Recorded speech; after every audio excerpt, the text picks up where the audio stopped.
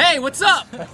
Uh, Gaze win three to one against the who was it? Who we played? Black Sox. The Black Sox. Don't even know. Nice. Yeah. So I'm here with winning pitcher Eric Malara, second baseman Josh Salo, and our old friend Brian Sizzle Sindel. So let's start with Malara. You went eight strong innings.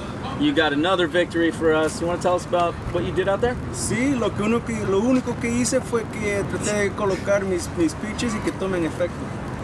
Josh, you want to say? Mm, he uh, he really liked the sun today. The sun was a great day, and uh, that's about it. He really like the sun today? Really That's liked what he the sun said? today. That's what he said. I too like the No, sun. eso no fue lo que yo dije. I don't think that's what he said. So he had a great game. Um, and Sizzle, Sizzle is back in his I'm civvies. back. I'm here. Sizz, you got hurt this year. Hurt myself. What did you do? I cracked my pelvis. You cracked your pelvis? How'd you crack your pelvis? Running in a softball game. Do you think these injuries have anything to do with your lifestyle? You know, your workouts, your diet?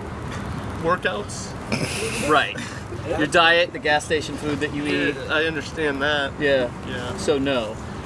That might have something to do a little bit with it, but uh, you know, injuries do happen from time to time.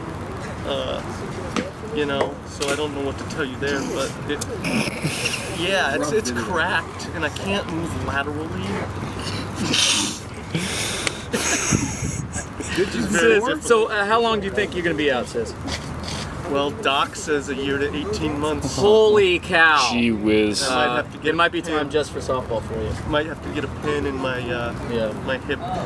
I'm, you know, it's a bummer. I'm trying to be upbeat about it, though. I, I don't want to be, you know, Yeah. like the like the uh, the dude in the program with James Caan in the bed.